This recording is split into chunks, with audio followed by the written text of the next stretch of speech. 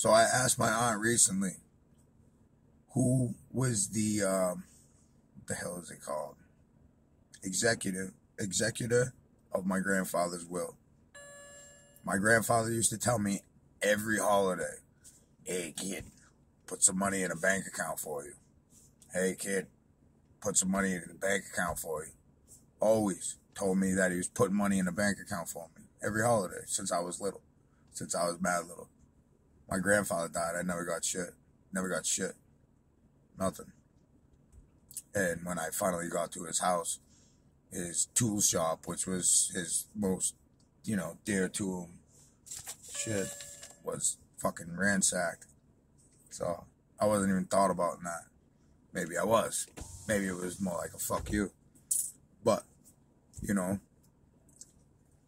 what happened to that money?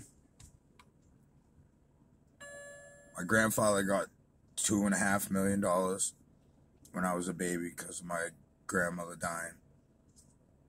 The paramedic was drunk that showed up to the house. So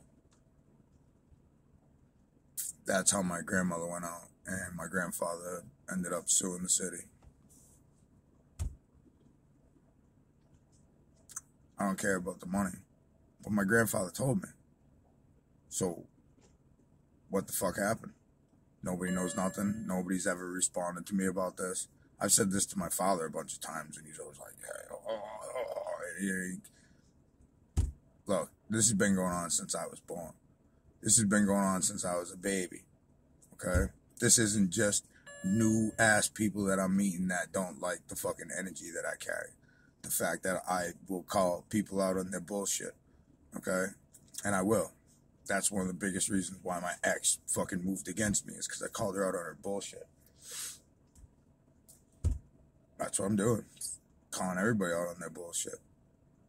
You guys can be mad all you fucking want. Where's my shit? Where's my kids? Where's my inheritance?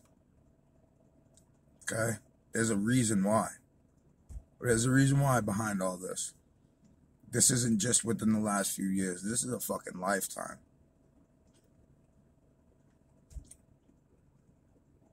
My grandmother had seven brothers.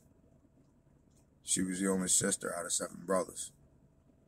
I was the first grandbaby. I'm the oldest.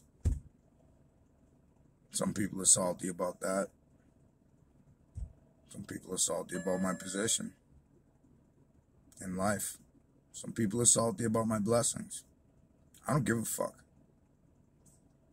Okay? And I'm really, honestly, as much as it sucks to be away from my kids and the things that I went through with my kids and being separated from them, I'm glad I went through this. I'm glad I went through this. Oh, I'm glad I went through this. You have no idea. Because it put everything into perspective about fucking who's who. And that's why that nice shit's over with. Is because I know most of these motherfuckers that I was surrounded with are fucking snakes in the grass. And that's it. And this goes for family. Majorly for family. This goes for all these fucking frenemies in the background. But here's the deal, right? None of you fuckers would say it to my face. Nobody said it to my face. So thanks for showing me utmost respect and letting me know. Because as I went through this shit in my head over and over again, that's a big one. None of you fuckers came and said this shit to my face. Nobody did.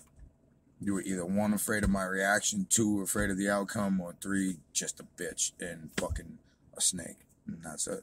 So I'm I'm done playing humble. I'm still humble. And I still got mad love for people. But the people that I do love, and I still love you guys, but the fucked up shit that's going on, unacceptable. No fucking way. And then people try and deem me as the bad one and fucking give me a bad rap and fucking run my name through the mud. I don't fucking think so. I don't fucking think so. You motherfuckers have not walked where I've walked. You haven't fucking had to go through the shit that I've gone through. And you sure as shit don't have the backing like I do with God in my life. And I'm going to say it like that. And the more that I've gone through this shit, no weapon formed against me shall prosper. Everything's going to be exposed. The people involved, the people, the family, friends, fucking enemies, the people that played behind this shit, you will be exposed. I, there's no fucking doubt in my mind. I'm not even sweating that shit. Not at all. Okay? It's only a matter of time. And everything will play itself out. And the pit that they dug for me is what you guys are going to fall into. So if you're one of my haters and you decided to move behind my back and talk fucking shit, if you fucking put your mouth on me, you got it coming. And not by my hands. I don't even have to do nothing. I don't have to do shit. I know that. This is this is the reality of this whole thing. This is spiritual warfare. We for we battle not against flesh and blood, but spiritual wickedness in high places.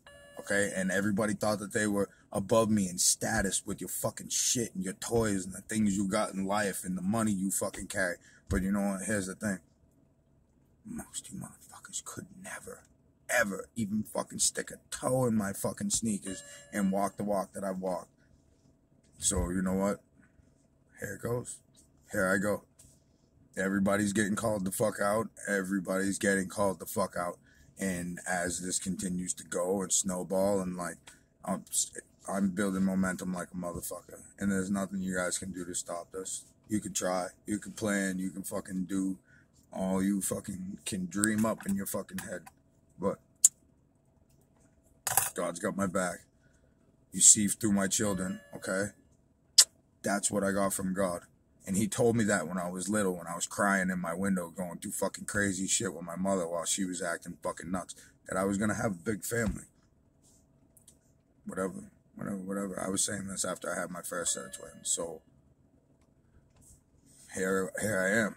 So, but the evil in the world tried to fucking move against me, and it's not just my ex. It's that's fucking bullshit there are many different people that have fucking aligned themselves to fucking come against me and mine. And you guys are gonna pay out the ass.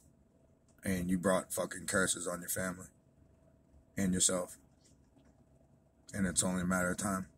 It's God's timing. It's not my timing. I'm not rolling up doing fucking shit.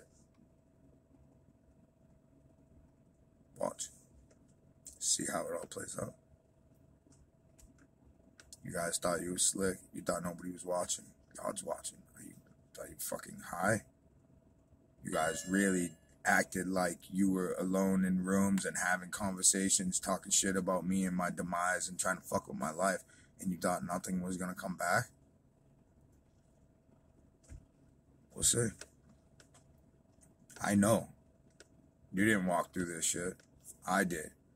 And I thought the more I went through this shit, the more I'm I'm just so fucking confident in my faith and in God being there for me. You guys are fucking evil. You do some fucked up shit. Dirty, grimy, self righteous, fucking people pleasing, fucking chasing money. This is where your soul is. The money's most of your guy most of you is God to most of you guys. And if not, then it's status or material possessions. And I want to tell you guys, just like I told my ex, and she fucking flipped when I said this shit. I'll throw it all in a fucking pile, put a match to it, and go fucking get it again. That used to piss her off. I'm fucking pretty much there already. I just don't have my kids. Yet. Yet. So, read them and fucking weep. Everybody's getting put on blast. Anybody that moved against me, anybody that fucked with me in my lifetime, we're gonna fucking sit up here and we're gonna talk about this shit. Because you guys did me dirty. And rather than go and fucking fall in the trap and go and get myself locked up again, I'm like, I'll get this one. I'm chilling.